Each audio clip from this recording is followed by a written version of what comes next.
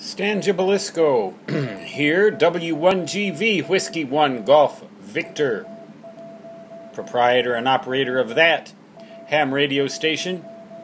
I just did a demonstration a little while ago of this program, HamScope 1.56, H A M S C O P E. Google on that, you can download it.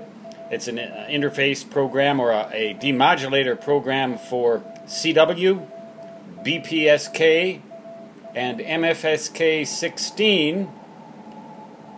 Also, it'll work radio teletype and a couple of other modes, but you need some add ons for that. Standalone, this program uh, operates on my Windows 7 machine here uh, perfectly well on CW, and you're looking now at it. It is copying W1AW's 18 word a minute bulletin. Uh, usually it tells me how, how fast the speed is. Yes, right here, see? It's indicating 18 words a minute. So they are, in fact, doing just what they say they do according to this program. Now, I was going to try and demonstrate MFSK 16 on here. I did demonstrate BPSK 31. Unfortunately, they did not have time to do their MFSK bulletin uh, at the end of the uh, period of time they had allotted there, so they couldn't do it.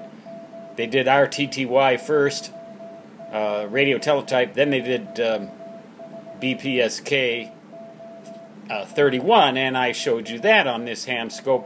It will copy code. Uh, although I'm perfectly well capable of writing this down, you know, copying this by hand, I I tested myself the other day just to be sure that I could, in fact, still copy one solid minute of 20 words a minute the way that I had to do back in, I think it was 1973, when I took my extra class test in in St. Paul, Minnesota, in the old federal building. And this guy, he made me receive perfect for a minute and send perfect for a minute with a straight key. And it wasn't plain text either. He made me send, uh, I don't know what they call that, alphanumeric character stuff with some words deliberately misspelled. Oh, you know, this was this was a tricky deal, huh? Well, anyway, I got through it.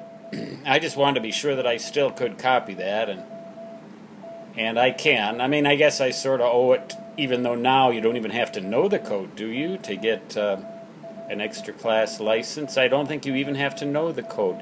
But anyway, this is a display that shows the spectrum. Now it also has a waterfall, which uh, some people prefer for, particularly for BPSK reception. There's the frequency right there is about 600 and, uh, I think it'll tell me 668 hertz right there. See? 668 hertz. That's a nice, comfortable tone frequency for my purposes. That's uh, some people like it higher, some like it lower. It'll also so show the input. Now, I, I don't know what good this really is, it but except as an audio oscilloscope, makes a good audio oscilloscope. Kind of neat looking. but the most useful that I have found here is the spectrum you can see there's a little bit of distortion in my audio system here. There's some harmonics of that audio tone, 668 hertz. But there you can read the, you can read what they're saying, and that's exactly right. You know, there's some jargon with ham radio, some uh, abbreviations and things like that. But again, this program is known as HamScope, H A M S C O P E, latest version 1.56. You can download it. I recommend it. It's a cool program.